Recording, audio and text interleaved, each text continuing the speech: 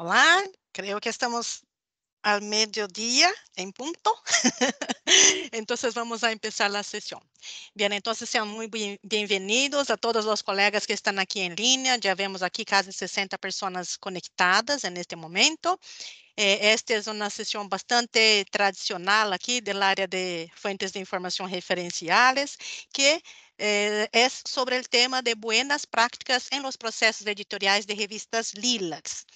Como sempre, vocês sabem que temos aqui uma página dedicada Déjame cambiar aqui, só um segundo. É uma página dedicada a estas sessões. E para o dia de hoje, nós vamos a ter o tema de dados de investigação, desafios e oportunidades para editores científicos. Pero antes de começar a sessão, como sempre me gostaria, por ser esta a primeira sessão não, que nós vamos a ter, eh, me gostaria falar um pouco sobre a dinâmica das sessões que temos. Como vocês sempre sabem, toda a documentação das sessões que nós promovemos quedam aqui disponíveis dentro do sítio de Lilacs e está aqui quando vocês accedem dentro do menu sobre sessões virtuais e a la primeira eh, imagem aqui, enlace, é de las sessões de buenas práticas. Então, aqui vocês vão ver a página, não? Eh, todas las fechas, el objetivo de la sesión, eh, que para nosotros es una sesión bastante importante porque ustedes saben, eh, aquí 906 revistas indexadas en Lilacs y de varios países, creo que 26, no me acuerdo ahora bien la cantidad de países, pero eh, son muchos países aquí de, de los países de América Latina y Caribe. Y como também, a maioria sabe, temos os critérios de seleção e permanência de revistas em Lilacs. E a ideia é que podamos trazer, tra, trazer a los editores destas revistas as atualizações, todas as boas práticas que temos nesta área eh, para poder manter ¿no? a qualidade e fortalecer as revistas eh, da área de saúde em los países de América Latina e Caribe. Então, o principal objetivo dessas sessões são para estes editores que são de, de, revistas que são indexadas em Lilacs.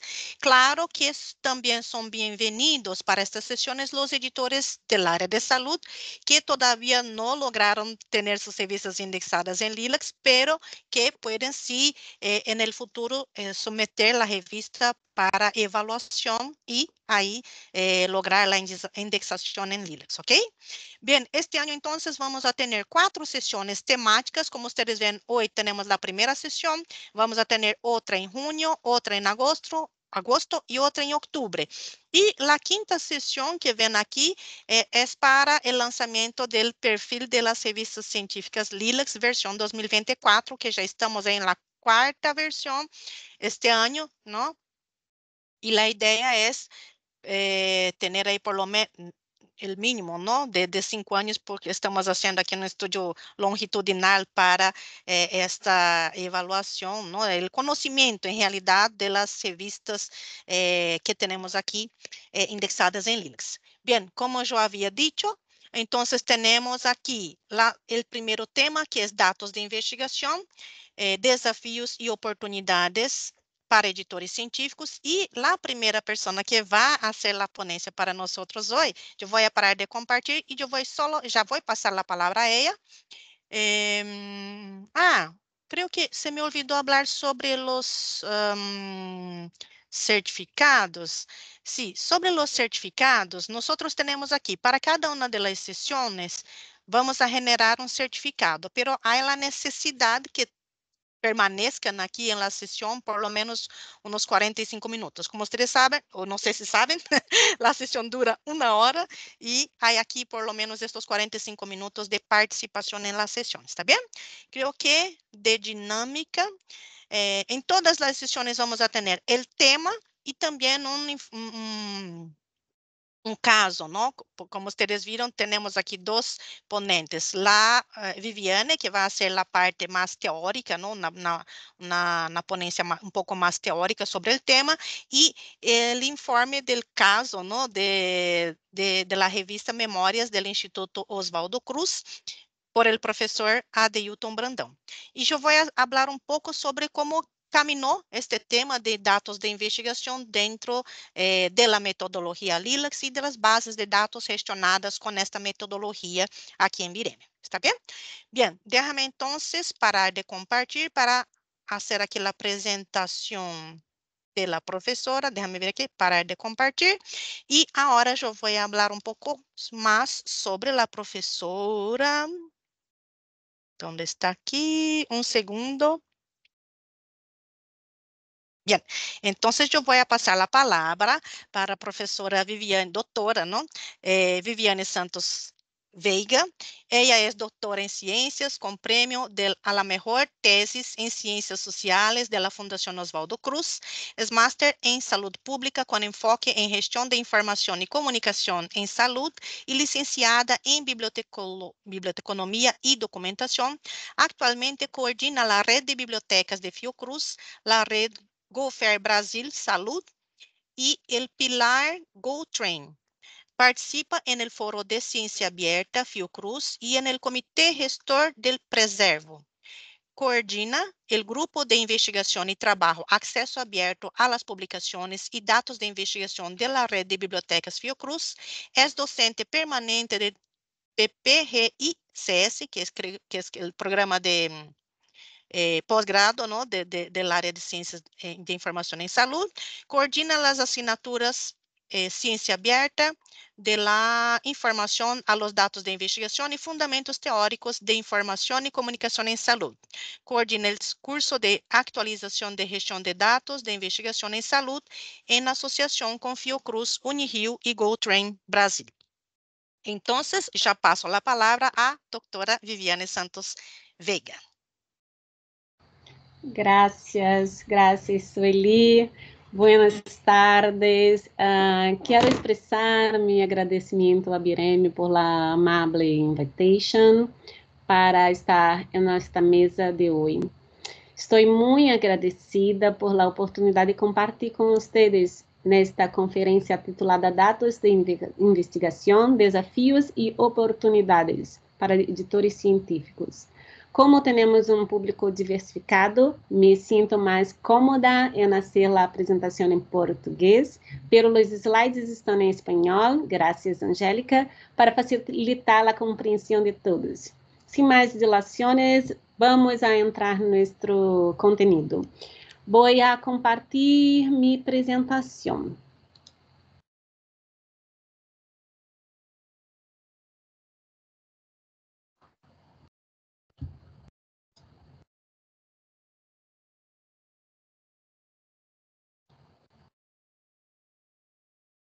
Pronto. É, agora, em português, vamos falar um pouquinho sobre dados de investigação, dados de pesquisa, desafios e oportunidades. É, então, eu vou, o meu lugar de fala, né? Eu vou falar desse lugar enquanto pesquisadora de um laboratório na Fiocruz, do LCTS, que é o Laboratório de Informação Científica e Tecnológica em Saúde, e enquanto professora da área de ciência aberta na Fiocruz, dentro do PPGIX, que é o nosso programa de pós-graduação, de mestrado e doutorado. É, atualmente coordeno a rede de bibliotecas da Fiocruz, então tem um olhar de organização do conhecimento, de biblioteca e da necessidade da gente normalizar e formalizar algumas questões dentro dos periódicos para facilitar não só o acesso, mas também o reuso desses dados. Coordeno a rede Gofer Brasil, como a Sueli falou, que é uma rede especializada no campo dos dados de pesquisa para que eles sejam fair, né? Que eu vou explicar um pouquinho o que, que é isso. Aí faltou ah, o Fórum de Ciência Aberta da Fiocruz, que eu e a Deilton, que está aqui comigo, meu colega da Fiocruz, que tem muito gosto né, de trabalhar em conjunto, está aqui também. Bem, só para contextualizarmos, tá? O que, que é ciência aberta? vou colocar aqui também o meu cronômetrozinho para eu não passar do horário. É, o que, que é ciência aberta?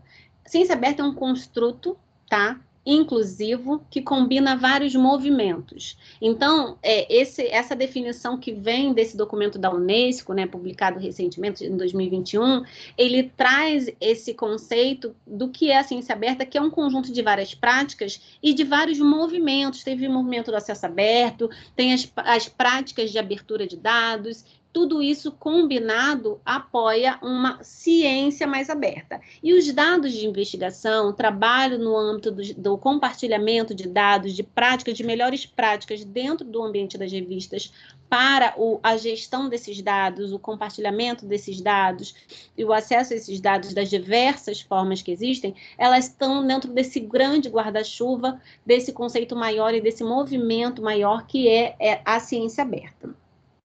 É, ah, e eu acho que é importante também salientar dessa definição da Unesco é o objetivo, né? Porque às vezes nós podemos ficar pensando, para que estamos falando disso agora? Por que, que, é tão importante o dado de pesquisa? A gente vai estar tá falando sobre isso tudo, mas o, o objetivo maior, né, o, o, o fundo todo, o que está ali no nosso, o que é o nosso principal alvo é o que? A, a, a, sociedade. Então, nesse, dentro desse, desse conceito que traz, dessa definição da, da, da Unesco, ela trabalha muito essa questão do benefício da ciência para a sociedade, né? O todo o processo de criação, avaliação e comunicação desse conhecimento científico, combinando todos esses atores da sociedade, beneficiando esses atores da sociedade. Tá. E aí, é, dentro desse mesmo documento do, da Unesco, nós vemos alguns valores e princípios que são trabalhados para a ciência aberta. Então, a ciência aberta tem os seus valores, né? Qualidade, integridade. Isso está muito, muito ligado com o que a gente vai falar hoje sobre os periódicos científicos. O que, que nós podemos fazer enquanto profissionais da área de informação, enquanto editores científicos, enquanto é, bibliotecários, que eu sei que tem alguns aqui também que trabalham nas editorias científicas dos seus é, periódicos, o que nós podemos fazer para melhorar a qualidade e a integridade da pesquisa. Né? Então, a gente vai estar tá vendo isso aqui também. Pensando que a ciência aberta tem um valor de benefício coletivo. Então, o benefício não pode ser só para um ou para outro, mas qual é o benefício coletivo? Equidade e justiça, diversidade e inclusão. Isso é muito importante quando a gente fala sobre algumas diretrizes para os periódicos, né? A gente pensar nessa diversidade e na inclusão transparência, e aí os princípios, transparência, igualdade de oportunidades. Hoje nós vemos uma desigualdade de oportunidades, então como que a gente trabalha para uma ciência que realmente apoie na igualdade de oportunidades, responsabilidade e respeito, colaboração, participação, inclusão, flexibilidade e sustentabilidade, né? Porque a gente sabe que às vezes é tudo muito lindo, né, na teoria, mas e na prática o que é possível fazer de forma sustentável? É, e aí tem várias práticas do âmbito, do âmbito, da ciência aberta, como vocês podem ver nessa imagem, mas o nosso foco vai ser essa aqui, que está separadinha, que vem dos dados, dados abertos, o Research Data, os dados de pesquisa e os dados de pesquisa abertos, tá? E aí, eu começo aqui para falar, é, trazendo esse, esse artigo da Nature, onde ela começa a falar onde estão os dados. Isso em 2016, antes da pandemia. Depois, com a pandemia, nós tivemos vários, muitos artigos falando sobre onde estão os dados, sobre a importância dos dados, sobre a ciência aberta, né? E, e, e todo esse movimento que já vinha anterior, ele ganhou ainda mais força, respaldo e justificativas, né? Comprovadas ali da importância de tudo isso. Gente, se eu estiver falando muito rápido, por favor, me sinalizem, tá? Que aí eu tento, eu sou, eu falo rápido, eu vou tentar falar um pouquinho mais devagar para os meus amigos aí é, latinos de outras línguas que possam compreender. É, então, Viviane, nós vemos que existe uma preocupação geral Viviane, sobre... Oi. Eu creio que seria bueno que hablara um pouco mais despacio. Sim, por favor. Vou, vou me esforçar para isso. É, então, mas podem me sinalizar se eu esquecer e acelerar. É, onde estão os dados de pesquisa, né? Onde estão os dados? Então, a comunidade científica, tá? Ela começa a se reunir há muitos anos é, para falar sobre isso, começando pelo campo da saúde, tá? Então, nós temos vários documentos desde 1960, gente, já alertando sobre a importância do compartilhamento, da boa gestão dos dados de pesquisa no campo da saúde, tá? E isso foi crescendo, então a gente tem hoje uma necessidade de trabalhar no âmbito das revistas científicas com os dados de pesquisa. Coisa que antes nós não precisávamos nos preocupar. Atualmente é urgente, né? É urgente essa preocupação. É, eu trouxe uma definição de dado de pesquisa, porque também existe muita confusão. Dado de pesquisa, ou dados de investigação, é, são registros factuais utilizados como fontes primárias de investigação e comumente aceitos na comunidade científica como necessários para validar os resultados de investigação. Então, todo dado que ele está sendo utilizado para fins de pesquisa são dados de pesquisa. Então, o que define o dado é o seu contexto. Então, o dado ele pode ser ter sido coletado no ambiente de pesquisa, no contexto de pesquisa. Então, eu, enquanto pesquisadora, vou a campo e faço uma coleta de dados para minha pesquisa, como eu posso utilizar dados coletados anteriormente por outro pesquisador ou para outro fim que não seja pesquisa. Por exemplo, dados governamentais ou dados administrativos. Então, são dados que não são dados de pesquisa naquele momento da coleta, porém, quando eu vou utilizar para fins de pesquisa, ele se torna um conjunto de dados de pesquisa. Aquele espectro separado, aquele contexto separado, ele é um conjunto de dados de pesquisa. Alguns chamam de dados para pesquisa. É, e aí, o que a gente pode. Opa, foi aqui, passou dois. Deixa eu voltar, não tá certo. É, o compartilhamento de dados, ele já tem crescido muito. Nós saímos de 2020 de praticamente zero o número de registros de compartilhamento de dados, para em 2018, oito anos depois, para 20%. Né? Então, ainda não vi nenhum estudo atualizado para esses últimos oito anos, né, de 2018 a 2024, é, os últimos seis anos. O quanto mais a gente já cresceu no compartilhamento de dados, mas sabemos que crescemos e crescemos muito, mas ele tem crescido, né? Não tão rápido quanto gostaríamos ou esperaríamos, mas tem crescido. E de que forma que nós podemos nos preparar, né? Os periódicos podem se preparar com boas práticas para esse trabalho do compartilhamento de dados, da, da, análise desses dados, da utilização dos dados junto aos artigos científicos nessas publicações. Bem, é, aqui eu trago três estudos, tá, que foram feitos é, sobre reprodutibilidade da pesquisa. Nós temos um, um, problema atual, alguns autores chamam de crise de reprodutibilidade, em que vários experimentos eles são produzidos, é, experimentos que vão mudar condutas, às vezes no campo da saúde, mas que depois, quando você vai tentar reproduzir aquele experimento, você não consegue reproduzir. E aí ficam, é, surgem várias questões. Esse dado foi é, analisado correta? Ele foi coletado da forma correta? Será que existe algum problema de, de manipulação?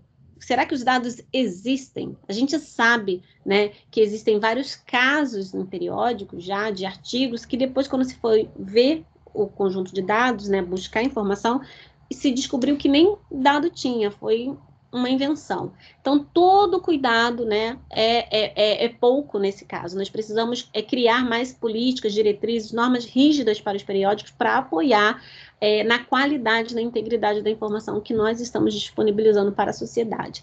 Então, nesses três aqui, o primeiro experimento ele foi feito na área de, de biomédica, na área informática de biomédica. A, esse segundo artigo aqui ele foi feito na área de computação e esse terceiro é na área de neurociência, tá? E os dados aqui foram completamente diferentes do primeiro para o segundo artigo. Vejam o, o, o quão preocupante é. Esse outro estudo aqui é, foi na área de câncer, tá? Eles fizeram um levantamento de 53 publicações significantes, identificaram 53 publicações significativas na área de câncer.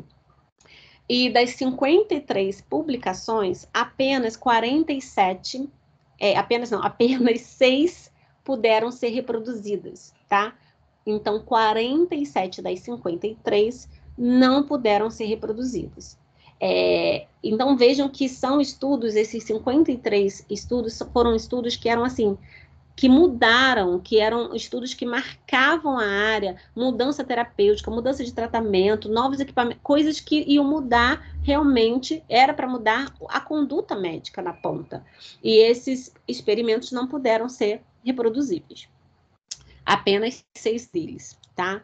E para isso, para apoiar, a gente tem dados mais é, com dados com mais qualidade, existem algumas diretrizes internacionais. A principal delas que eu gostaria de mostrar para vocês, né, é, são os princípios FAIR. Não sei quantos aqui já tiveram contato com ele, mas os princípios FAIR são princípios que ajudam os autores e os pesquisadores e os editores, os avaliadores, na condução desse processo de verificar se a gente está fazendo um trabalho todo desde a ponta né, desde do, da, da, do, da gestão do dado, da coleta do dado, até o final, que é o seu compartilhamento do dado. Será que eu estou fazendo todo o processo da forma correta? Eles estão alinhados a esses princípios? Então, dentro dos princípios, tem parte que vai ser vista, né, o olhar do autor, aquele que está coletando dado, aquele que está produzindo dado e aquele que está gerindo dado. Uma outra parte do Fé é das instituições que vão receber esse dado. Esse, a infraestrutura está adequada para esse dado dentro do meu periódico, é, é, eu estou proporcionando uma diretriz, uma política, uma infraestrutura adequada para que esses dados sejam fé, ou, ou eu recebendo dados fé, eles mantenham fé. É, e na ponta, ou se eu vou utilizar uma infraestrutura é, apoiando o meu periódico como um repositório é, de fora, né, um repositório parceiro, esse, esse repositório é um repositório trustful, um repositório confiável, um repositório que está alinhado aos princípios fé. Então, tem todos os olhares ali e as diretrizes, né, os princípios fé, eles são muito importantes nesse contexto. Então, FAIR, ele é um acrônimo para quatro palavrinhas, tá? O F é findable, o A é accessible, o I é interoperable e o R é reusable. E cada letrinha tem os seus componentes para dados e metadados. Aqui a gente tem uma, uma visão geral dos princípios FAIR.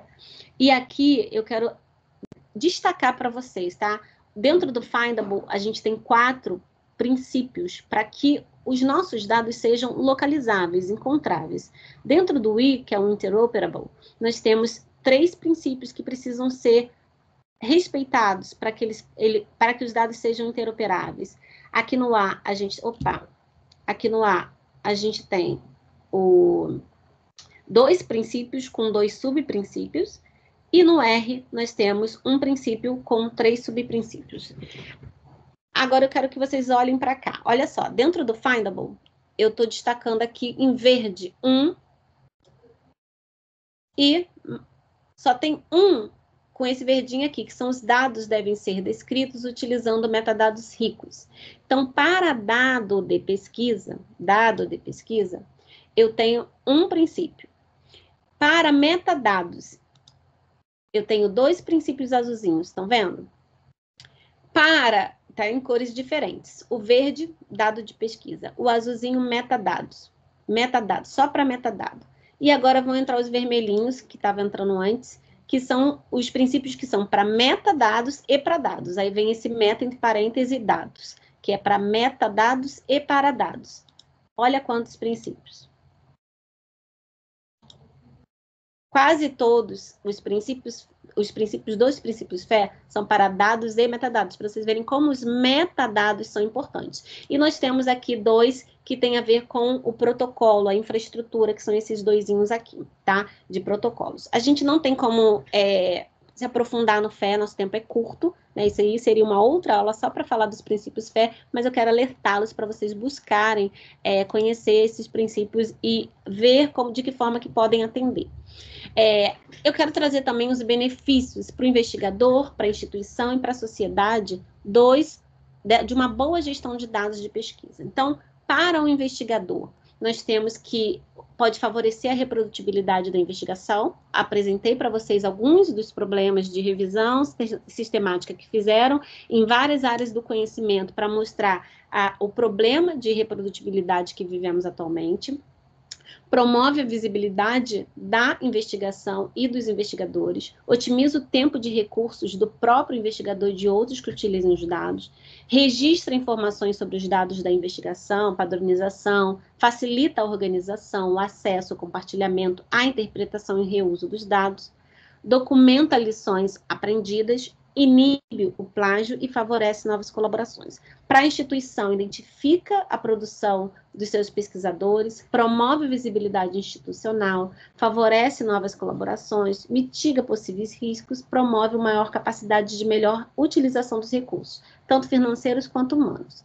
E para a sociedade, favorece novos descobrimentos, né, novas descobertas, o encontro de soluções com maior rapidez e eficácia promove rapidez no, alcance da, no avanço da ciência e salva vidas. A gente está falando de saúde.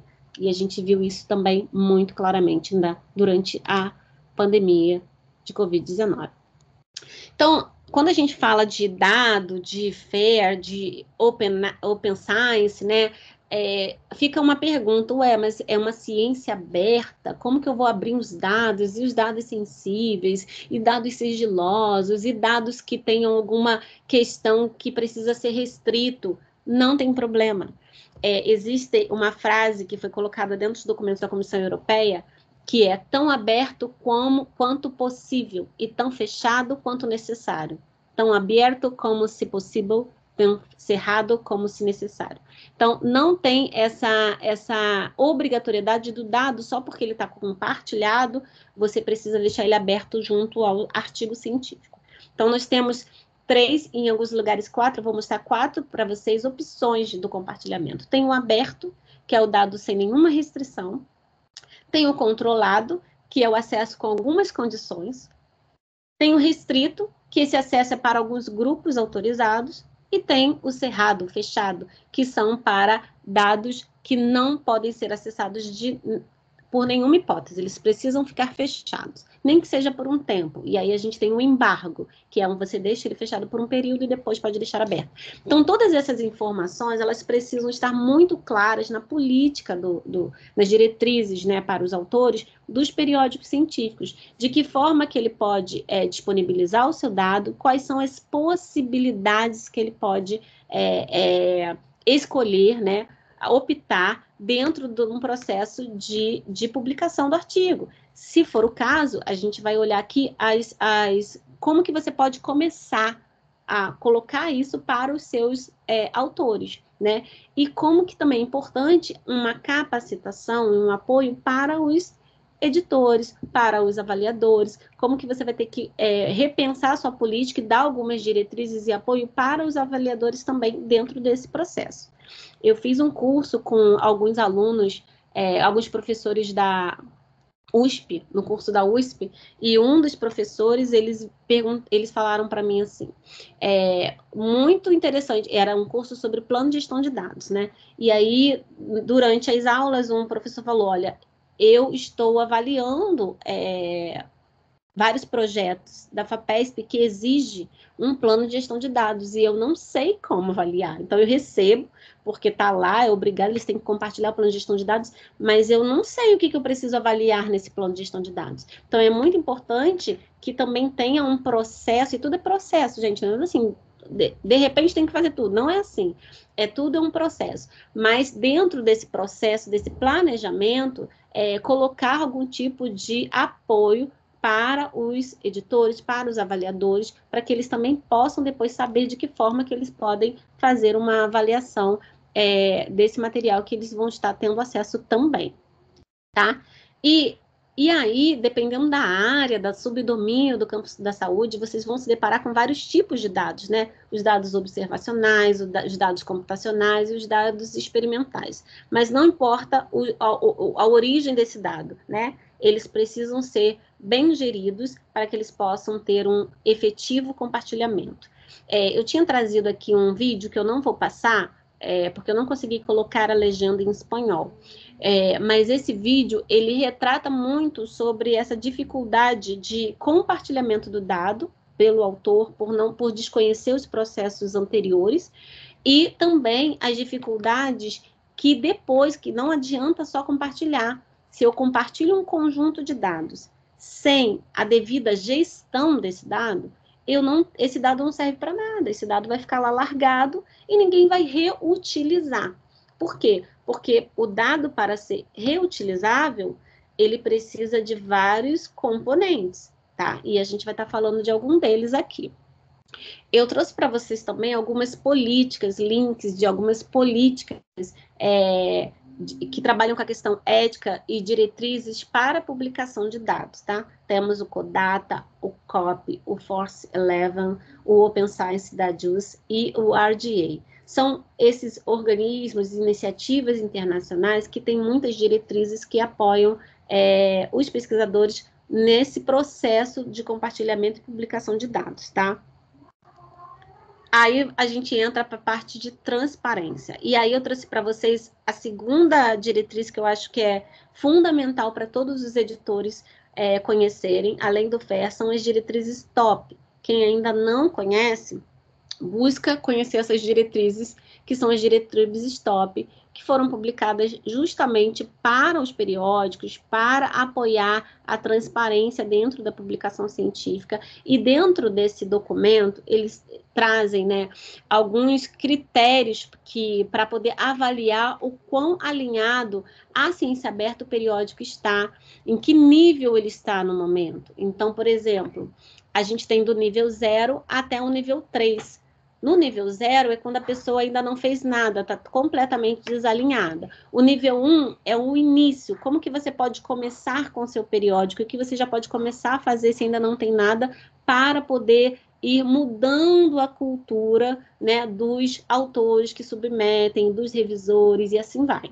Então, vou dar aqui um exemplo né, de nível de implementação. Não vou ler todas as diretrizes, vou só ler algumas para vocês terem uma ideia, para quem ainda não viu. É, o critério de citação. A revista fomenta a citação de dados, códigos e materiais ou não menciona nada. Então, se a, se a revista ela recomenda, ela fomenta essa citação ou ela não menciona nada a respeito, já está no nível zero para a citação do dado. O nível 1 um seria quando a revista descreve como citar dados. Opa, fugiu.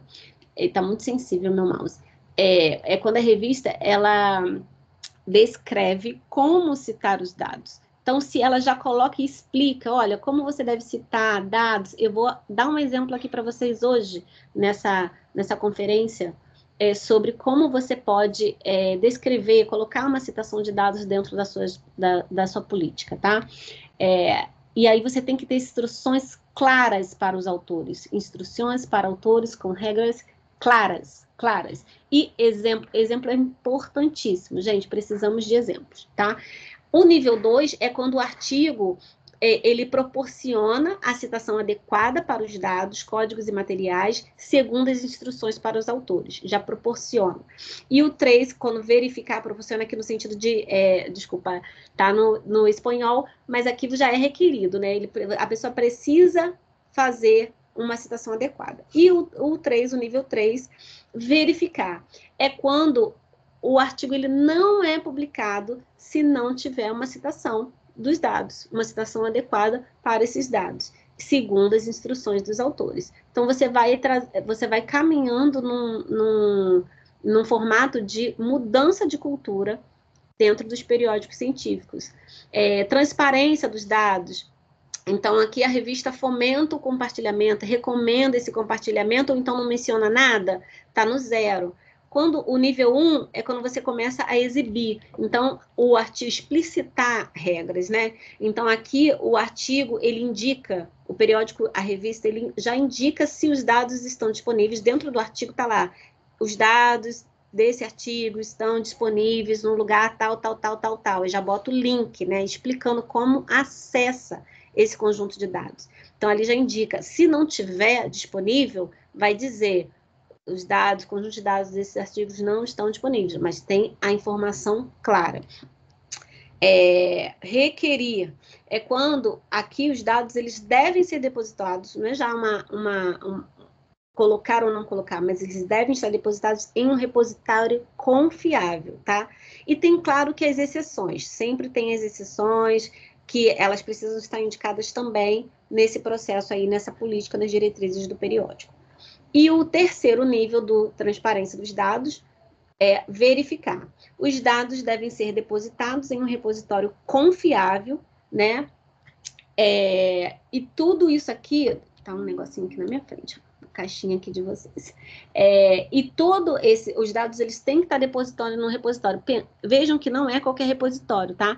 É um repositório confiável, repositório confiável. E aí a gente vai falar sobre algumas, dar dicas para vocês de onde encontrar esses repositórios confiáveis, tá? É, e assim segue as diretrizes top, com, com critérios para os métodos analíticos, os códigos, é, os materiais também de investigação, e ele vai ali explicitando dentro desses quatro níveis, do 0 ao 3. É, análise, o pré-registro de estudo, que é muito importante, que isso também esteja claro dentro do, dos, dos documentos, das diretrizes do, do periódico. É, e aí eu vou falar, saindo do top, vocês já entenderam ali que tem vários critérios e vários, eu destaquei os que são focados nos dados de investigação, nos dados de pesquisa, e eu falei lá sobre o repositório, né? Então, os repositórios, eles é, que os periódicos forem recomendar, porque hoje em dia é muito difícil um periódico criar uma estrutura própria para receber os dados. O que a gente faz normalmente são parcerias, recomendações de, de, de plataformas. Existem várias plataformas hoje em dia que podem ser utilizadas para isso, né? E o importante é que você veja uma plataforma que seja que tenha um selo trust, né? Que esteja alinhada a esses princípios de trust, que é de transparência, responsabilidade, foco no usuário, sustentabilidade e a tecnologia, né? Uma infraestrutura segura, alinhada aos princípios da ciência aberta, ok? Aqui tem alguns repositórios infraestruturas que são generalistas, tá? O que, que nós recomendamos? Que se utilizem repositórios da comunidade. Repositório da comunidade é o repositório disciplinar, é o repositório que aquele, aquela revista trabalha com dados daquele repositório. Então, o repositório ele tem uma temática e ele vai, vai ter metadados específicos para, para, para dar conta dos seus conjuntos de dados daquela revista. Mas, às vezes, não existe ainda um repositório é, que dê conta. Então, por isso, a gente tem os generalistas. Agora, se você quiser descobrir, né, se tem algum repositório dentro do seu campo, da área, do periódico aqui, você pode entrar nesse diretório aqui, RE3Data, é um diretório de repositórios, e fazer uma busca por área do conhecimento. Aí dentro lá dessa, desse, desse repositório você vai encontrar é, vai saber se existe, né? É, eu trouxe aqui também esse artigo que foi publicado na PLOS One, é, onde ele fala sobre a questão da citação dos dados e a visibilidade do artigo. Nesse estudo, POA ele, ele diz que compartilhar dados de investigação estão associados a um aumento de 69% na taxa de citação independentemente do fator de impacto da revista, da, da, da, data de publicação e do país de origem do autor. Então, vejam que é importantíssimo é, a citação de dados, como pode dar mais visibilidade para os artigos publicados nas revistas. Citação de dados, a gente tem é, regras para isso, tá? Então, dentro da citação de dados, nós temos vários vários metadados que precisam ser inseridos para que exista essa citação de dados adequada, tá? Para que tenha uma citação de dados ade adequada. Então, tem que ter identificação exclusiva, tem que dizer onde está, tem é, identificador persistente, cadê o DOI desse dado, tem que ter especificidade, verificabilidade, interoperabilidade e flexibilidade. Então, são oito princípios que precisam ser respeitados dentro da citação de dados. E aí, eu vou mostrar aqui para vocês um exemplo de dados, né, de citação de dados, é, exemplo de citação de dados do For Center, na APA e na MLA, ou MLA, que são dois formatos de, de referência, e aqui esse da APA, vocês veem quais são os elementos que precisam da, estar dentro da citação de dados, que são os elementos que a gente já está acostumado no artigo científico, opa, mas mudando para, mas incluindo, opa, alguns outros, como por exemplo, qual é o repositório, né? Então, no caso aqui, ele está no force, tá vendo? Aí aqui está o link. É, então, você tem o autor. E meu, meu mouse está muito sensível, vou parar até de mexer, quero marcar para vocês, mas não dá. É, então, você coloca o nome dos autores, você coloca o título daquele conjunto de dados, tá? Não é o título do artigo, é o título do conjunto de dados. Você coloca ali o versionamento, você coloca dataset e você coloca um, um, a referência, o repositório onde ele está, qual é a plataforma que ele está, você vai colocar o nome do repositório, que é que é, significa editor, tá? Mas você precisa colocar essas informações. Então, ali tem vários links para vocês terem essas informações bem mastigadinhas. É, e depois essa apresentação vai vir, vai para vocês, vocês vão receber. Como podem os, os autores começar? Então, primeiro, eles precisam elaborar, mostrar para os autores, eles precisam fazer um plano de gestão de dados alinhado aos princípios FE. Aí eu deixei aqui uma ferramenta, que é a ferramenta da Fiocruz, para elaboração de plano de gestão de dados, que vocês podem também indicar para os seus autores, e o guia para fazer um plano de gestão de dados. Então, isso é antes para o autor. Criar um documento, leia-me, o README é, compartilhar os dados de investigação, software, códigos em repositórios digitais confiáveis. Incluir o artigo, é, no artigo a informação sobre onde estão os dados. Como que os editores podem começar? Então, começa a estabelecer uma posição clara na política editorial. Então começa a dizer, ó, recomendamos o compartilhamento ou recomendamos a abertura dos dados, mas nunca, não deixe o nada, né? Não dizer nada não deve ser uma opção. Então a gente tem que se posicionar.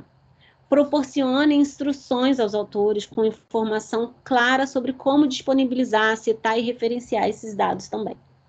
Incluam os artigos na seção Declaração de Disponibilidade de Dados. Então, esse documento, essa seção Declaração de Disponibilidade de Dados, ela precisa é, existir e essa informação precisa ser preenchida.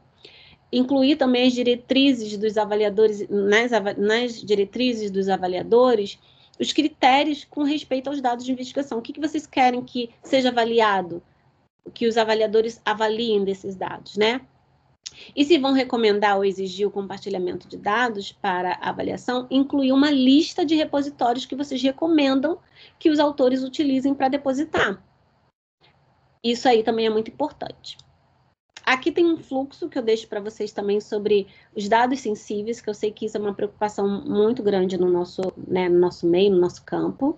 É, e aqui eu vou passar rapidamente sobre o, algumas diretrizes que já apresentam tipos de dados, como que você pode é, trabalhar no, na hora da submissão, apresentar para os seus autores alguns lugares para ele poder saber como que ele vai utilizar, quais metadados utilizar, quais repositórios que eu vou utilizar. Então, se eu estou trabalhando com uma pesquisa na área de genoma, eu preciso é, ter dados genômicos, eu preciso ter metadados para dados genômicos. Como que eu, eu vou utilizar esses dados? Então, o tipo de dado na área genômica é sequência de DNA, né? Então, são, são metadados bem diferentes daqueles que o, o, os repositórios generalistas vão ter. Por isso que é importante a gente pensar em repositórios da comunidade, tá? Então, aqui vou é a listinha que eu trouxe para vocês e vou deixar para vocês em várias áreas do conhecimento. E tem os claros, né, os repositórios generalistas também aqui. E eu fecho com oportunidades e desafios que eu quero destacar. Então, oportunidades. A gente tem novos modelos de publicação. Então, quando a gente tem uma coisa nova, é um novo momento da gente poder trabalhar. E aí a gente precisa pensar de que forma que os repositórios podem, os repositórios não, os periódicos podem começar a trabalhar nesses novos modelos.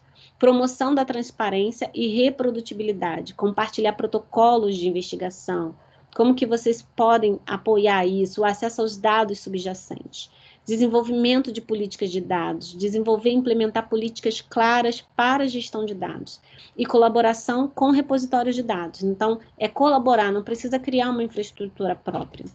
E os desafios? Imensos, gente, vários desafios, com certeza vamos ter temos várias perguntas, porque a gente está trocando pneu com a roda andando mesmo, né? É, construindo e fazendo acontecer ao mesmo tempo. Então, desafios, acesso e compartilhamento é um desafio, assegurar que esses dados, eles, é, eles vão, subjacentes aos resultados da publicação, eles vão estar disponíveis a outros investigadores, pode ser, pode ser difícil, então a gente precisa incentivar os dados FE, Infraestrutura tecnológica é um problema. Avaliação por pares, a gente precisa é, aprimorar os processos de avaliação por pares e a mudança de cultura, que eu acho que é o principal aí desafio, né, nesse momento. Então, agradeço imensamente o, o, o convite, estou aqui à disposição para continuarmos a nossa conversa. Obrigada. Muitíssimas graças, professora Viviane. Eh, excelente presentação, não? Eu vi aqui os colegas reaccionando no chat.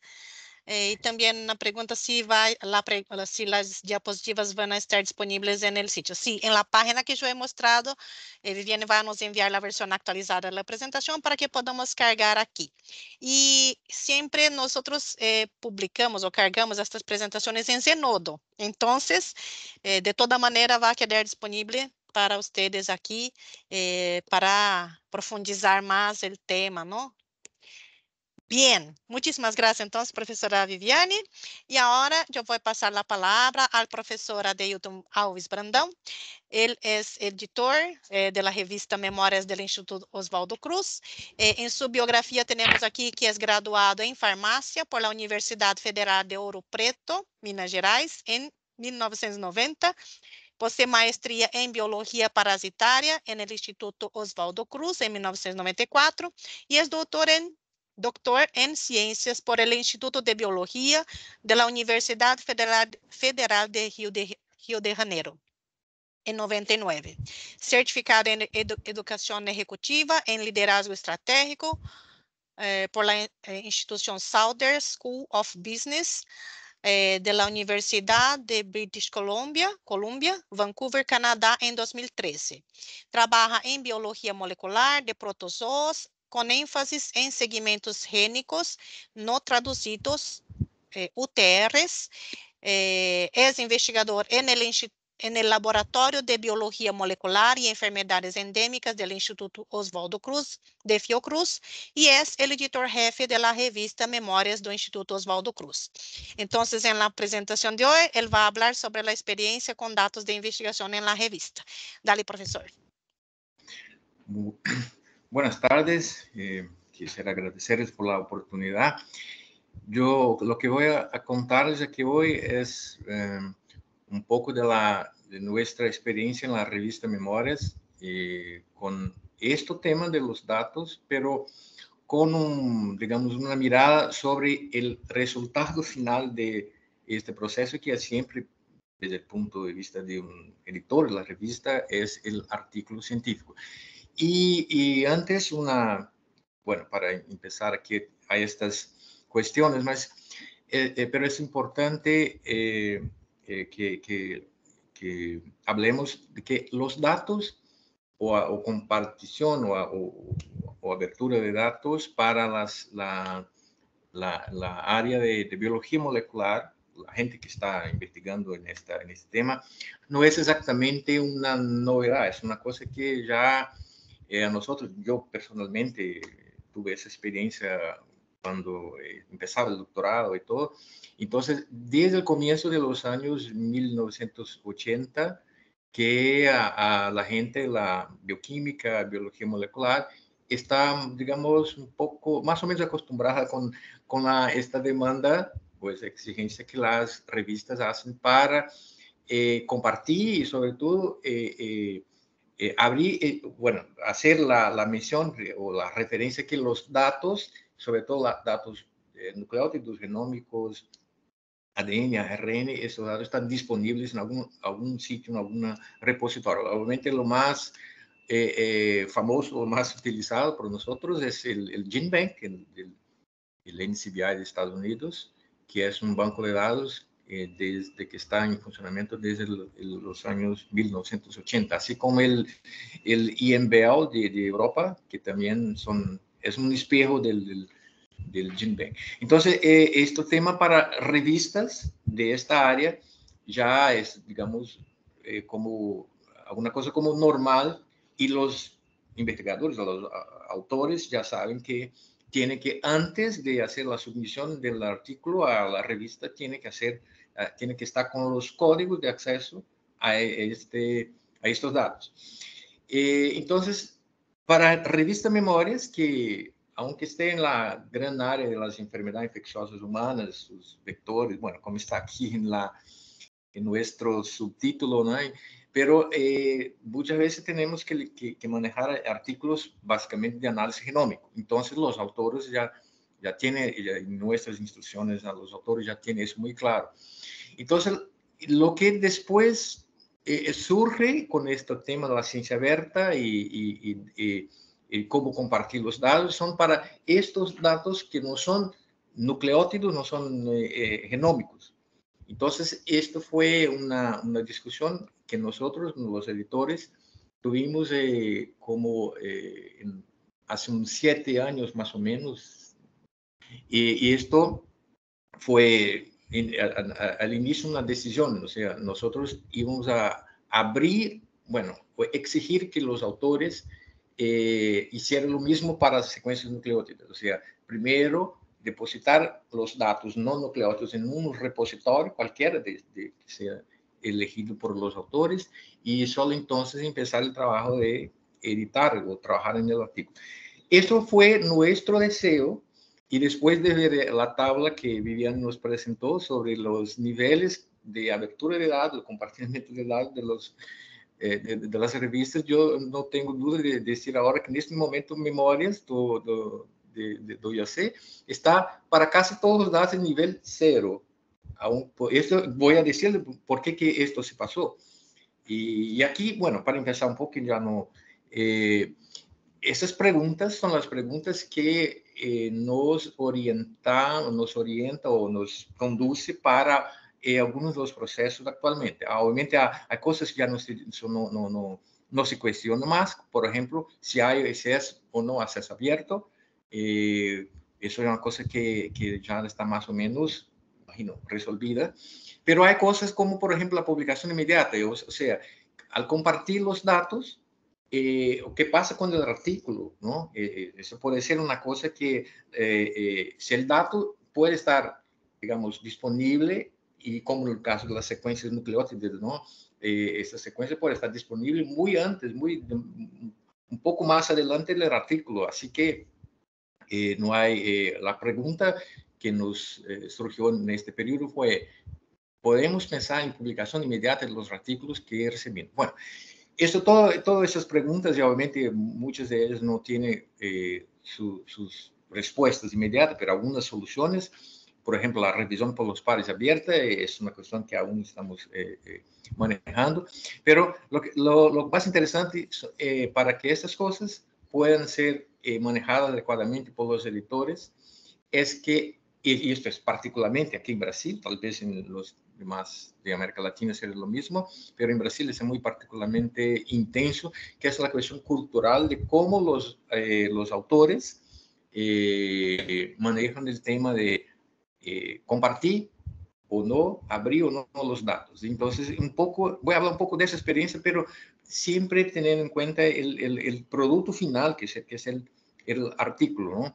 Assim que eh, vamos para esta. Bueno, entonces, esa historia empieza cuando eh, nosotros les damos la bienvenida a los preprints, que fue una, una división, un marco importante en la historia y el bueno, esa trayectoria de las revistas o la, la, publicación científica. Entonces, esto fue una cosa que ya en 2017 eh, abrimos, eh, decidimos que artículos que estaban en preprint eh, serían artículos bienvenidos a nuestra revista y eso fue igualmente algo de mucha discusión interna. Pero lo que pasa es que desde 2017, y aunque estemos todo el tiempo hablando del tema, solamente no más que tres artículos llegaron por, esta, por este canal. O sea, nosotros pagamos mil dólares al repositorio, mil dólares al año al repositorio de preprint de BioArchive para que la revista Memoria esté, eh, eh, esté incluida en la, la, la, lista, el rol de revistas que aceptan directamente eh, artículos en preprint desde el BioArchive. Pero de, de, de, desde 2017, solamente tres artículos. Y ahí está el problema, porque culturalmente, en Brasil, por ejemplo, la gente no ve la vía de los preprints como una vía adecuada para anticipar, para darle publicación inmediata a sus artículos y después pensar una revista. La, eh, yo tengo la, eh, yo escuché colegas investigadores en, en, en Fiocruz que preprints no es una publicación, una vía de publicación, o sea, una cosa que después de 10 años, de más de 10 años del primer preprint en ciencias biomédicas, en el BioArchive, eh, tengamos que escuchar esto. O sea, eso significa que culturalmente este es un, un paso muy complicado. Y en, en, este, en esta discusión toda surge el tema de las eh, plataformas de publicación o, o, o, los medios que, que mi, bueno, la, la, mi expectativa para el futuro seguro que tendrá un rol mucho más importante, más relevante y tal vez hasta, hasta cierto punto amenaza un poco esta estructura de las revistas que tenemos hoy. Así que y nosotros ahora, por eso que muchas de las decisiones que, que, uh, que hubiéramos tomado con, con, con, respecto a los datos, abertura de datos, tuvimos que interrumpir este proceso porque estamos exactamente en este momento en una conversación, discusión con el Instituto Osvaldo Cruz, el, el board del Instituto Osvaldo Cruz, que es la entidad que, que sostiene, que apoya la revista Memorias del Instituto Osvaldo Cruz, porque nosotros le hicimos una pregunta eh, en este proceso actual, eh, tradicional de la publicación de artículos eh, científicos, la revista Memorias está amenazada, como de otras revistas en, en, en, que a, a, actúan de manera similar. Entonces, le hicimos la propuesta y, y obviamente hicimos la pregunta a, la, a, la, a los, los, dirigentes del, del, Instituto Osvaldo Cruz, decía, tenemos que tomar unas decisiones sobre esta revista porque si no, en el medio largo plazo, tal vez no tengamos más condiciones de actuar si seguimos, si, si, si eh, continuamos a hacer las cosas así. Entonces, una, una posibilidad es la conversión de esta revista en una cosa híbrida que podría funcionar en un modelo completamente, con todo abierto, con todo, con, con, eh, eh con procesos y, y, y, de publicación inmediata, datos abiertos, eh, eh revisión por pares abierta, todo, y tal vez operando en un modelo tradicional. O sea, sería una, una un, alguna cosa entre una plataforma de publicación del siglo XXI con eh, eh core, colores de una revista tradicional histórica y centenaria como esta revista. Pero es exactamente la discusión que nosotros estamos trabajando ahora y por eso que tuvimos que hacer una interrupción de los cambios que estaban implementando en la revista para los datos y otras eh, eh, este, características de la ciencia abierta. Eh, así que estamos pensando un poco sobre o qué hacer con, con un artículo cuando este artículo básicamente es una descripción de los datos. Y ese es uno de los problemas que, la, que esta revista hoy, yo imagino que, que, que, sea un problema igual de otras revistas similares en esta área, porque la gente por la necesidad o la que sea presión o que sea de publicar a, a cualquier costo, simplemente tiene datos que podrían estar depositados, podrían estar en cualquier repositorio, tal vez con una, una nota, un aviso, alguna cosa así que dice una información. Yo tengo los datos que están ahora disponibles para todos, pero la gente insiste en que estos datos, pura y simplemente una descripción, sea un artículo científico. Y, y después de años decidiendo, tomando, mirando, leyendo esos artículos, eh, nosotros hicimos un comentario sobre, eh, que está exactamente con el título, ¿no? que ni todos los artículos, ni todos los resultados de investigación deben ser convertidos eh, en, un, artículo científico. No hay necesidad de esto y es, un, ese es uno de los problemas que tenemos hoy. en la revista y, y, siendo muy, muy francamente, yo no, no, sé cuál es la mejor solución porque vamos para el problema cultural que es, y aquí voy a relatar un, la primera experiencia que tuvimos con este proceso de intentar comenzar empezar a abrir las cosas y comenzando obviamente por, por el producto final que será el, el, el artículo. Bueno, antes eh, lo, lo, mencioné que, que, estamos en el nivel cero de, de la tabla que Viviana nos presentó, eh, porque en nuestra política editorial sobre datos apenas mencionamos que los datos que son utilizados, que en general el manuscrito deben estar abiertos disponibles públicamente, sea solicitados o no, esa es la recomendación. Pero no decimos más nada que no sea que está aquí. Obviamente hay la mención el, el, a, la, a, las secuencias de nucleótidos. Es el, el máximo que ofrecemos a los eh, eh, autores. Obviamente eh, no es lo que la recomendación de, de de datos, pero esto ocurre porque estamos exactamente decidiendo qué hacer con esta con este operativo que tenemos hoy eh, eh, editorial, que yo entiendo que si no lo cambiamos, eh, tal vez en algunos años no será más necesario porque el universo está, editorial está cambiando a pasos muy largos y tenemos que acompañarlo. Entonces la cuestión no es solo la disponibilidad de datos o, o abrir todo, simplemente lo que hacer con la información que está de allí, que será el artículo, el formato más adecuado para esto. Entonces, esa es una pregunta que nosotros tenemos acá.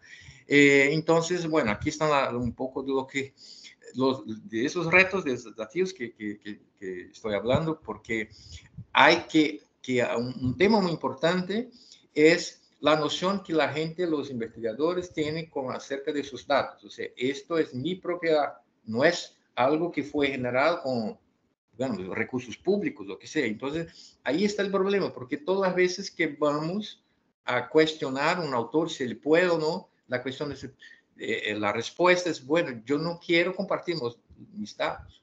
Entonces, eh, eh, la, la, primera vez que, que discutimos esto, eh, una pregunta fue, ¿y si nosotros decidimos que los autores no hay opción que no sea abrir los datos para esa revista? Bueno, hicimos un, una simulación y la conclusión que llegamos es que si hiciéramos esto, prácticamente nadie uh, iba a eh, someter artículos a la revista. Entonces, la cuestión es, ok, si, si, eh, si este momento si fueran mucho más eh, realistas y, y, idealistas, probablemente la revista iba tal vez publicar uno o dos artículos al año, porque cultural, culturalmente la, las personas de investigación en este país no están muy, eh, digamos, confortables con la idea de compartir sus datos.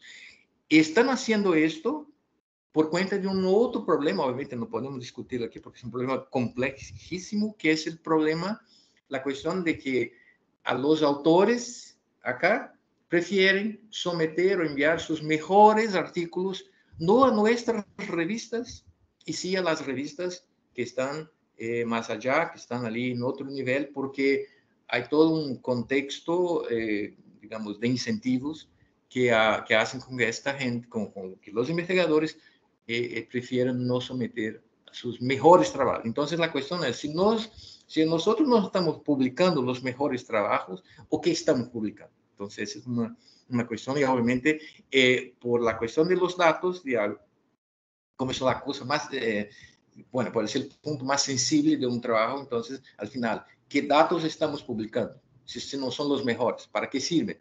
Entonces, son todas las preguntas que al final pensamos, bueno, ¿de que de, nos trae alguna ventaja hacer esto o no?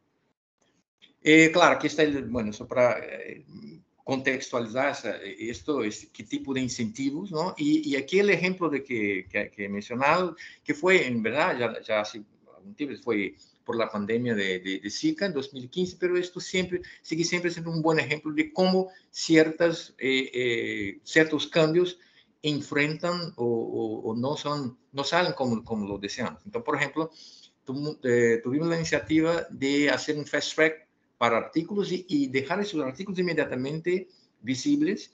Y eran artículos que estaban eh, que trataban de los temas de Zika, fiebre amarilla, eh, dengue, chikungunya, en fin, son los las arbovirosas que estaban en, en, digamos, en el, en el ápice en el momento, eso fue 2016, 2017, y ahí el resultado que, eh, bueno, el, el, artículo llegaba y si inicialmente se quedaba visible por el tiempo necesario para hacer la evaluación por los pares, y después si este artículo eh, no era, digamos, considerado bueno para publicación final de la revista, eh, nosotros eh, le metimos ahí una palabrita en rojo y la, el en la página de la revista con la información rejected. Esto se pasó con unas dos o tres personas, bueno, dos o tres grupos, y lo que pasa es que estos autores eh, nos solicitaron para que removéramos, que, que, que, sacásemos el, el, este, esta información de nuestra página, porque a ellos no les interesaba decir que estaba con un artículo eh, rechazado eh, y, por, por, lo tanto, y, claro, iban a intentar otras, intentar otras eh, revistas. Entonces, así eh, nos, nos, dimos cuenta, nos, claro, así sí quedó más claro que es una cuestión cultural. No sé si es exclusivo de Brasil o no, pero lo que pasa es que la gente no quiere estar as, asociado con un artículo o una cosa que fuera rechazada.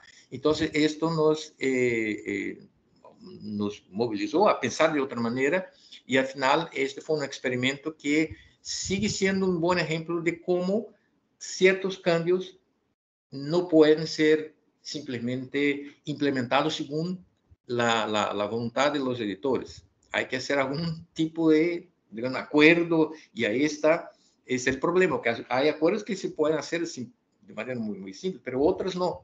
Entonces, ahí está una, eh, una cuestión que todavía no tenemos muy claro.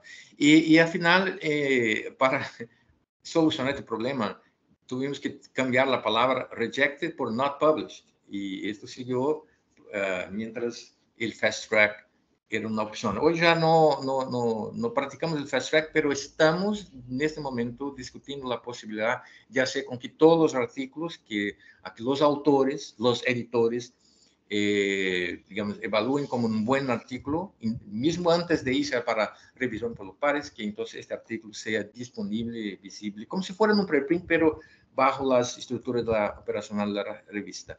Entonces, esa es la pregunta, ¿para qué estamos haciendo esto? ¿no? Eh, y esto nos lleva a, a la última cuestión, es el, el, último aquí diapositivo, es que eh, al final, artículos científicos, sea con datos abiertos o no, o sea como sea, hay que ser rechazados o no. O, o esos artículos hay que, que mejorarse, corregir. Sí, obviamente no hay problemas, eh, problemas serios de, de, de, de, ética de publicación, claro, que ahí es un otro cuento. Pero eh, si esta no es la opción, ¿o qué, ¿o qué hacer? Entonces, la famosa expresión publish or perish, o perish or, eh, tal vez podríamos ser como publicar y florecer. Al final se trata exactamente de, garantizar que la información o el dato o que sea que esté en este artículo sea una información de calidad, que sea una información que las personas efectivamente puedan confiar.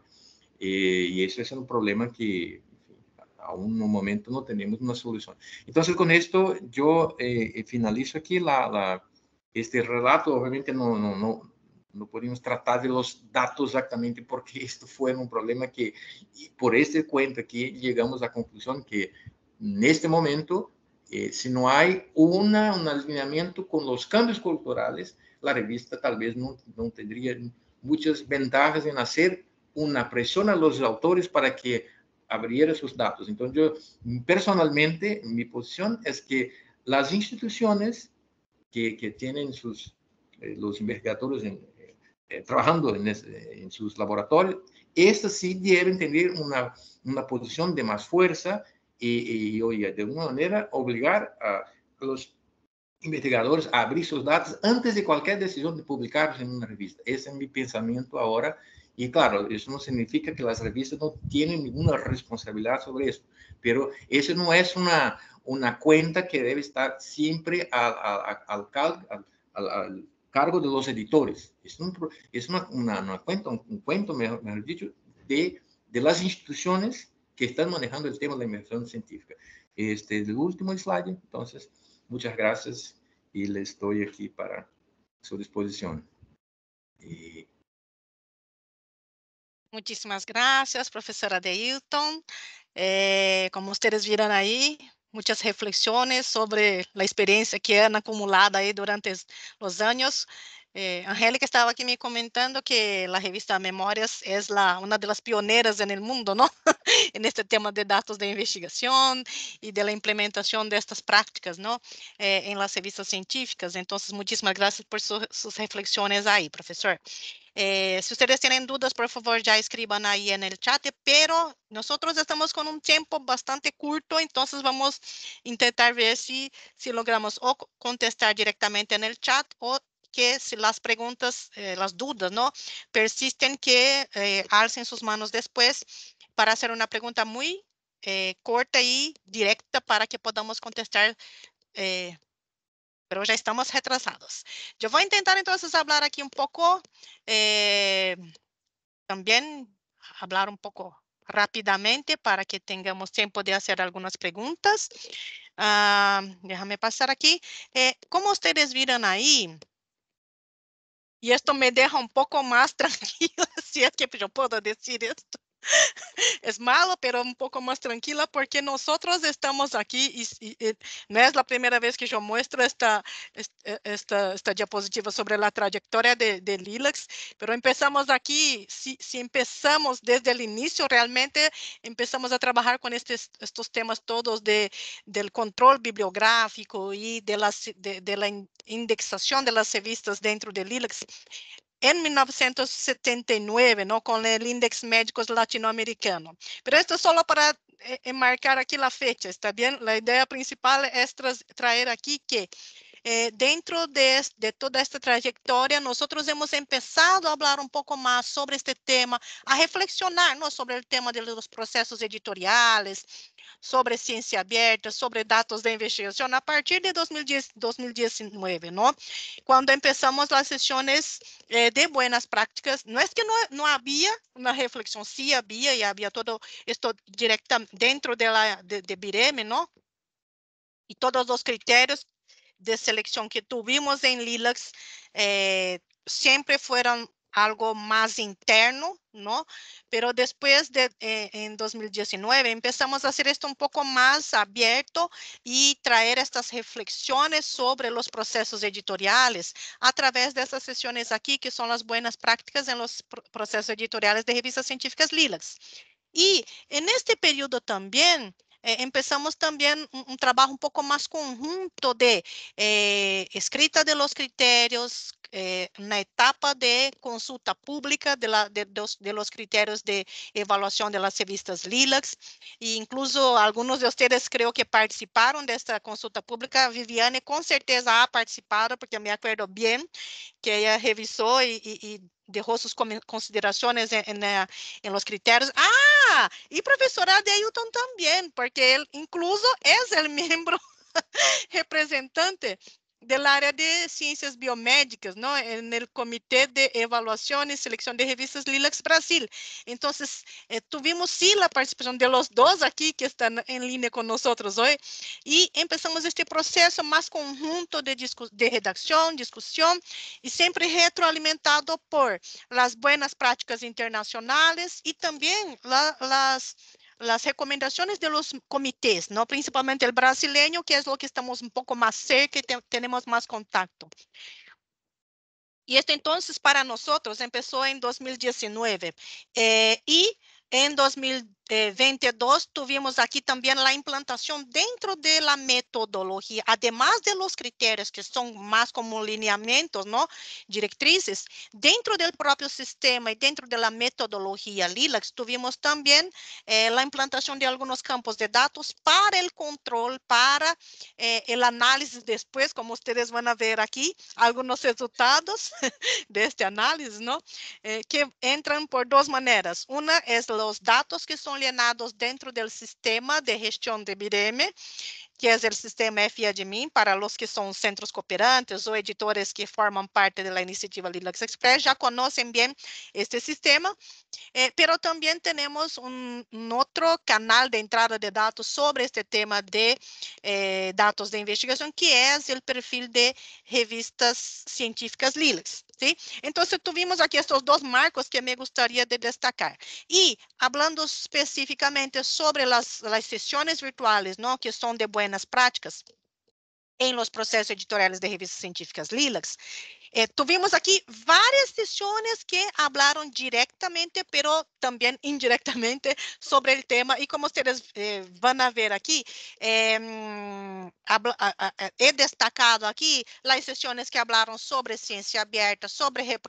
reproducibilidad de investigación científica, sobre evaluación abierta, eh, sobre las directrices por, de revisión por pares, ¿no? Se son abiertas ou se não são, eh, que, que caminhos temos, não? E hubo sim uma versão anterior, uma sessão anterior que falou especificamente sobre dados de investigação. Isto foi em 2021 com o doutor eh, Pascal Adventurier. Então, se vocês vão aí em la página de las sesiones de 2021, van, pueden revisar não só as diapositivas, mas também revisar a gravação e Eh, y hoy, en el día de hoy tenemos ahí la, la, la, la presentación, la, presentación de doctora Viviane, que fue bastante didáctica y clara también, ¿no? Entonces son dos recursos que ustedes pueden utilizar ahí después eh, para profundizar y ver cómo aplicar esto dentro de sus revistas, ¿está bien? Bien, y también dentro de las sesiones, esta es una diapositiva de 2022, creo, no me acuerdo bien el año, pero también es un modelo eh, de cómo está el nuevo modelo de comunicación de la ciencia, ¿no? Y vemos aquí eh, que eh, cuando nosotros acompañamos, monitoreamos todo el proceso de eh, publicación, de, hasta que la, resultado de investigación llegue a una revista, por ejemplo, hay todo un camino que es que passa ¿no? a investigação desde o registro do protocolo donde, de, de, investigação, quando se genera um DOI. E aqui vemos já eh, eh, o registro, o depósito ¿no? de los dados de investigação dentro desses repositórios de dados, onde também se genera um DOI. E não vou falar aqui porque temos pouco tempo, mas há aqui em todo este percurso deste novo, entre comillas, no modelo de comunicação científica, toda uma forma de eh, seguimiento ¿no? de la investigación desde el inicio hasta la publicación dentro de una revista o la inclusión dentro de una base de datos. Y cuando llegamos a los criterios de selección y permanencias de revistas LILACs, que hoy día, y, y, va a seguir de esta no tenemos dos versiones, que es la versión regional que se aplica a todos los países, que es de 2020. Ya hubo dentro de este, de este criterio una orientación para que se recomiende Entonces, creo que es el nivel cero también, como nos mostró eh, a profesora Viviane, ¿no? De que haya entonces la instrucción, por lo menos en las directrices de los autores, sobre depósito de datos de investigación. Esto 2020, ¿no? Y eh, la última versión que tenemos de los criterios LILAX Brasil de 2021, hay, además de esto, de estar dentro de las instrucciones de los autores para los todas as revistas que são indexadas dentro de LILAX, además de estar dentro de los criterios, no, de, de las directrices, ¿no? Dentro del artículo también se destaque eh, donde se depositó estos datos de, de investigación y como há a possibilidade hoje dia, então, de estes dados de la investigação também ser eh, enlaçados a partir de um registro bibliográfico de LILAX. Então, quando nós hacemos o registro dentro do sistema FIADMIN, que é o sistema de gestão, há uma pestaña onde vocês podem incluir os dados e enlazar os dados de investigação a partir do, registro bibliográfico. E aqui vocês veem um exemplo eh, dentro da pestaña eh, que habla, que, que, es la pestaña de datos de investigación, donde se incluye aquí, ah, este tipo no está más, creo que está un poco desactualizado aquí, perdón. Eh, pero hay entonces eh, título, la descripción y el enlace donde está depositado, cuál es el repositorio? Donde está cargado eh, el dato de investigação, ou os dados de investigação, está bem? E, uma vez que temos esta informação aqui, aí já, é solicitado aqui internamente, não? Para ver, então, quantos de los registros eh, que estão aqui dentro, gestionados dentro das bases de dados, e aqui solo na, como vocês veem também, são pouco mais de 700 registros hoje dia, hoje dia que têm eh, este campo eh, y la mayoría de estos campos son llenados para la base de datos Lilacs, pero también vemos aquí que hay registros que son de BDENF, eh, esta, estas dos otras bases de datos que son eh, de políticas informadas por evidência, este de medicina tradicional e terapias complementares, e aqui é a base de dados nacional de Moçambique. Então, aqui só para que vocês vejam, então, em quais bases de dados que temos já registros bibliográficos que enlaçam a eh, dados de investigação. São poucos, hoje dia são poucos. Por isso eu he dicho que uh, me, me quedé un poco más tranquila porque yo estaba bastante preocupada cuando vi que havia muito, muitos poucos registros bibliográficos com enlace a, a, de investigação. Não? Isto foi implantado em 2021, creio que 2021, Katia me confirmou. Estes, estes campos foram eh, eh, eh, implantados em 2021 e aqui o resultado, então, destes de estos tres años de, desde la implantación, ¿está bien? Además de esto, también he verificado aquí eh, en cuáles tipos de documentos había estos datos llenados. Entonces, la mayoría, 67%, son en artículos de revistas. ¿Sí? Pero también hay aquí algunos para tesis, disertaciones, documentos monográficos como libros, ¿no? Y literatura gris. Déjame ver aqui. E aí, então, estes são os dados, não, del, del llenado del campo los campos ¿no? que son para eh, datos de investigación a partir de registros bibliográficos de Lilas. De, de, de, bases de dados que são gestionados com metodologia Lilas, que, for, que foram as que eu he mostrado. E agora, como também he falado um pouco antes, nós estamos realizando anualmente este perfil de revistas Lilacs eh, y empezamos en 2021. Pero en 2021, como ustedes ven aquí, que es un perfil ya consolidado con los años de 2021, 22, 23, no había la pregunta en el formulario de este perfil sobre o depósito de dados de investigação. Então, por este motivo, estão aqui zero e zero, não? Pero em 2023, quando hemos incluído a pergunta sobre eh, a informação de depósito de dados de investigação, de las revistas que que contestaram, que creio foram 422 revistas, eh, tuvimos que 232 eh, incluyen este tipo de solicitud en su política editorial, ¿no? Y esto es, y, y es importante decir, ¿no? Yo he mostrado la realidad, ¿verdad? ¿Cuántos, ¿Cuántos registros tenemos con datos de investigación enlazados? Pouquíssimos, cerca de 700. y tenemos aquí eh, que 232 revistas hoje dia incluem em, em sua política de, de editorial, não, eh, a solicitude de depósito de dados de investigação. E, además, também me gostaria de recalcar que estos, estas perguntas são autoinformadas e que nós deveríamos não chequeamos os dados, se realmente estão na política, se aparece en, en, el portal, por ejemplo, ¿ok? Entonces, solo para que conozcan eh, universo aquí eh, de, de, editores o equipos editoriales, editoriales que contestaron que sí mantienen eh, en su política editorial esta, esta, esta solicitud.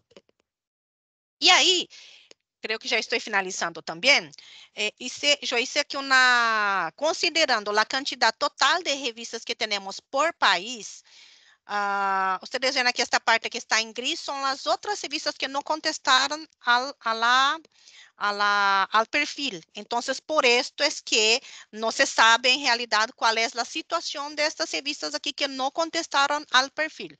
Pero de las revistas que contestaron, y ahí ustedes aquí ven en verde, yo he cambiado los colores incluso para que puedan ver esta, esta diferencia aquí.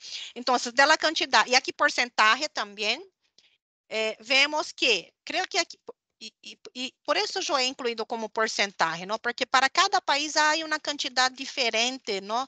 Eh, de acordo com a realidade de cada país, ok? Então, por exemplo, para Brasil, das revistas que, que contestaram, há, aqui uma quantidade um pouco menor, eu poderia incluir depois a, porcentagem aqui para facilitar a interpretação, não? É, então, a ideia principal aqui era mostrar, não?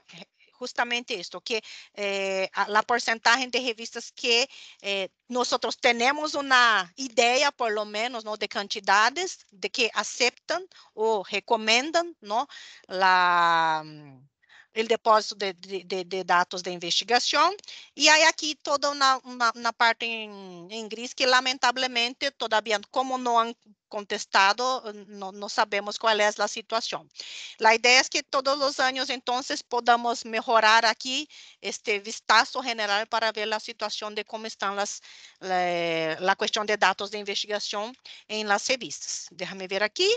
E siempre no hay cuestiones ¿no? que tenemos que mejorar. Entonces, mismo dentro del sistema de gestión de fuentes de información hay, hay algunas cuestiones. Eh, esto todo es muy bueno porque podemos pensar em que vamos fazer a partir de agora, não? Para Lilacs e para as bases de dados gestionadas com metodologia Lilacs. Então, há sim algumas questões de melhoria dentro do sistema de FI admin. Também há outro tema que é o processo de cosecha de dados que nosotros hacemos, que es el Linux Express, que también hay que revisar los metadatos que estamos cosechando para ver si hay dentro del XML eh, la información ya enmarcada, destacada sobre datos de investigación. Hoje dia nós sabemos, e não, incluso não estão sendo lienados eh, dentro de Lilacs, por exemplo, dentro das bases de dados, eh, porque não temos ou não sabemos, em realidade, se está dentro deste XML já destacado os enlaces a los dados de investigação. que mais? E aí também hemos visto também dentro destes 700 eh, registros, um pouco mais de 700 registros, eh, hemos visto que há alguns, alguns eh, eh, algunas inconsistências, ¿no? Eh, con sobre lo que son datos de investigación, lo que es datos, datos de investigación, ¿no? Eh, que también Viviane ha destacado este tema, ¿no? De que qué son estos datos de investigación y muchas veces, ni siempre, eh, los enlaces que fueran incluidos en los registros eran de datos de investigación. Há também uma confusão, creio que de dados de investigação e metadados de, de, de lo, de lo, de la, do artículo, não? Então, creio que há também aí uma comunicação importante para ser com nossos editores e centros cooperantes que enviam esses metadados. E, por último, também, como han destacado bastante, tanto Viviane quanto o professor hum, eh, Adeilton, a questão cultural, não? Da importância de los datos de investigación y de cómo es importante también incluir estos enlaces a los datos de investigación a partir de los registros bibliográficos de Linux. ¿Sabían? Entonces, para nosotros realmente foi bastante importante este análisis, porque agora temos aqui eh, vários encaminhamentos a ser depois dessa sessão que tivemos aqui. Bem, creio que é isto que me gostaria de falar, e agora eu vou abrir a, a, a palavra a los colegas aqui, eh, para dúvidas. E temos aqui a professora Viviane, professora Deilton também, que podem contestar as dúvidas que temos. Hum, há uma pergunta de Alan Chapel. Uh, como posso recuperar como editor o processo de envio de los metadados da revista a Lilacs? Ah, isso não, não é uma questão específica de dados de investigação, verdade? Ah, qual é a revista, Alan?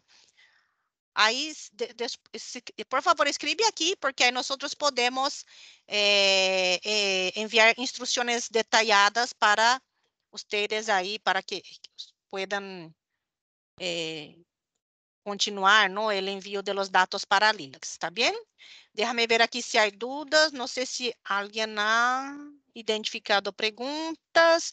También invito a los colegas que alcen sus manos para que puedan hacer sus preguntas a partir del micrófono. Angélica, ¿tú ves ahí alguna pregunta? ¿No?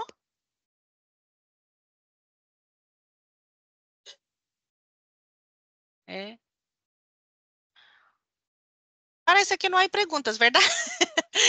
há aqui algum, algum um comentário, não, que que foi de Maria Estrada, é, sobre a importância de na capacitação, que seria importante oferecer uma capacitação sobre como gestionar esses dados, como os autores não deveriam preparar seus dados. Eh, pero são para os autores. Não sei se alguém, se Viviane ou Adeilton, a vocês les gostaria de falar sobre algum recurso educacional já existente eh, para estes autores que querem preparar os dados para someter a las revistas? Como, um, especificamente para os, os autores é, a pergunta assim bem específica, eu não conheço nenhum curso. Eu conheço cursos que ajudam tanto a fazer o plano de gestão de dados, quanto a fazer uma boa gestão de dados e compartilhar os dados no repositório. Agora, esse específico para preparar para a publicação, porque faz parte desse, de todo esse contexto, então acho que ajuda. Mas eu acredito que a pergunta, porque pelo que eu vi antes, está bem relacionada à questão também dos editores o que, que eles podem fazer, como eles devem se preparar para receber esses dados e fazer essa avaliação. Acho que alguém também colocou alguma coisa de uma capacitação para os editores, para que eles pudessem trabalhar nessa área. E aí sim também, eu acho que a partir disso, os editores podem ter as suas políticas mais recomendações, exemplos para apoiar os autores a fazer um trabalho que eles precisam fazer para preparar os dados para o para apresentar para a revista, né? Talvez, Talvez um, um, material de referência seja as diretrizes top, não é, professora? Sim, para as, as revistas, hum. sim, a, a, as diretrizes top. É, o Cielo também tem uma política, tem um manual, tá, de, para dados de, de pesquisa, para compartilhamento dos dados no, na plataforma Cielo. Então, também pode ser um documento interessante para olhar e verificar o que, que é possível fazer adaptações para os seus periódicos, para os seus, é, para os seus periódicos. Gracias, Viviane. Incluso hubo aquí una persona que ha enlazado un artículo, ¿no? Que en el blog de Cielo. Ah, que fue Linete. Linete ha enlazado aquí un, um artigo que saiu no blog de Cielo sobre reproducibilidade de investigação. Então, também creio que queda aí como uma sugerência de leitura, además deste documento que mencionou a professora Viviane, eh, que é um guia, não? Como um guia de Cielo sobre manejo de dados de investigação. que mais? Não sei se, professora Adilto, tu conheces algum preferentemente en español o portugués. No, igual ¿No? yo no tengo conocimiento de, de cómo, de, un método, curso, que no sé, obviamente los, los manuales, recomendaciones de, de, Cielo y de otros. Y ese, yo creo que es un proceso que hay, nos, nosotros editores estamos igualmente aprendiendo y claro, no hay, es un, un proceso que todos estamos involucrados. ¿no? Eh, lembrei-me agora, é, a ABEC ofereceu uns webinários sobre o tema. Eu até coordenei esse webinário, então está disponível no, na plataforma da BEC, né, no site da BEC, e vai sair um curso da BEC sobre, é, para os editores científicos, sobre gestão de dados de pesquisa para editores científicos. Eu coordenei esse, esse curso que vai estar disponível, mas ainda não está. Então, é, mas brevemente eles devem colocar na plataforma o curso. Ah, que boa notícia, que boa notícia. ah, Marcelo Barbieri está com sua mão alçada. Ah, pergunta, ah, deixa-me ver aqui. ¿Dónde está? ¿Quieres leer, Angélica? No estoy encontrando. Aquí, desde la revista, ¿es esta? Desde la revista Argentina de Salud Pública, quisiera que me aclare si hoy en día FIADMIN se puede utilizar para cargar datasets por ejemplo, en la BVS institucional del Ministerio de Salud, o si solo se puede cargar los enlaces a los repositorios de datos. Entonces, si nosotros pensamos en preservación de datos, lo más recomendado seria cargar em repositórios de dados. Sim, aí já veio a Viviane que concorda. Sim, por quê? Porque eh, para, eh, não é que não se pode carregar dados ou, ou, ou eh, conjuntos de dados ¿no? dentro de FIADMIN. Se puede cargar conjuntos de dados dentro de FIADMIN, pero el BRM no tiene una política ni infraestructura para preservación de datos. Todavía no hay. Entonces, por este motivo y pensando en preservación de datos, a nosotros de BRM nos gustaría recomendar que hagan el depósito en repositorios de datos que tengan este, esta questão no repositório, generalmente já tem esta questão de preservação de dados, pero la questão, é, é, o problema é se realmente, se realmente é um repositório, porque às vezes utilizam este término para coisas que não são repositório, ok? Então, por favor, evalue, analisem e com, é, é, estudem se realmente é um repositório de dados com preservação digital e Para nosotros, la mejor práctica es el depósito en repositorios con preservación de datos. Y ahí enlazar en el sistema FADMIN, porque ahí, además del texto completo también que va a estar enlazado, también va a estar enlazado acceso al, a los datos de investigación, siempre enlazados debido a esta cuestión de preservación digital. ¿Está bien? Uh, gracias por la pregunta, Marcelo. ¿No? Aí a Angélica está me ajudando, me dijo que não há outras perguntas. Então, só me gostaria de passar a palavra para a professora Viviane, depois para a professora Adeilton, para isso, as considerações finais, e para que podamos cerrar a sessão. Viviane. Ai, muito, muito obrigada pelo, pelo convite. Eu quero deixar só uma palavra para todos aqui. Primeiro, que me impressionou todo mundo aqui no horário do almoço.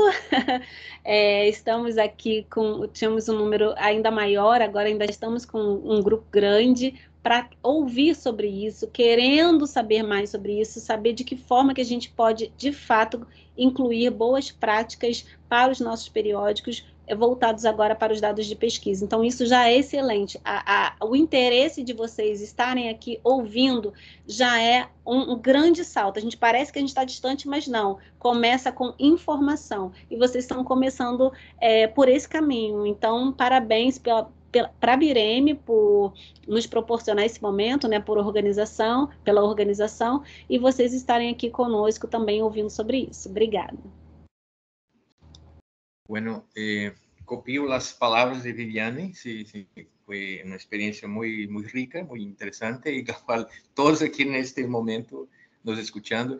Y claro, eh, como dije, eh, dije antes, eh, estamos en un proceso de aprendizaje eh, de cómo manejar todo eso, porque hay las cuestiones culturales, las cuestiones técnicas y de recursos, que es un problema que a todos nos afecta. Entonces, estamos aprendiendo juntos. Entonces, es, ese tipo de experiencia a mí me, encanta porque es un intercambio, es muy interesante. Entonces, mi, mi, mis agradecimientos por la oportunidad y sigamos juntos.